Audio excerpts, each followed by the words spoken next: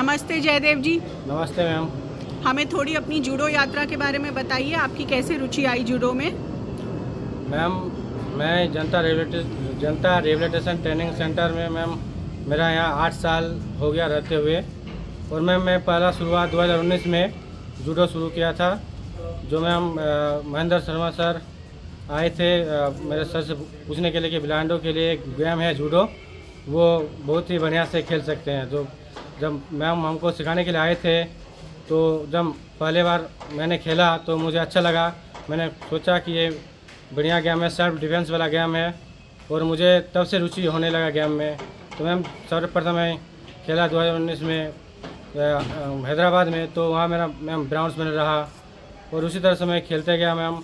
इस बार 2023 में जूडो खेले थे तो इसमें गोल्ड मेडल रहा, और उसके बाद मैम मैं इंटरनेशनल भी 2022 में गया था वर्ल्ड चैम्पियनशिप खेलने के लिए अजरबैजान कजाकिस्तान, एशियन चैम्पियनशिप खेलने और फिनलैंड भी गया था वर्ल्ड गेम गया था लंदन यूके और मैं इस हाल ही में गया था एशियन गेम खेलने चाइना, जिसमें से मेरा पाँच टूर में मेरा एक सिल्वर, एक ब्राउन्स मेडल रहा और मैम मुझे बहुत ही अच्छा लगा कि जूडो में आके मुझे बहुत ही उत्साह हुआ।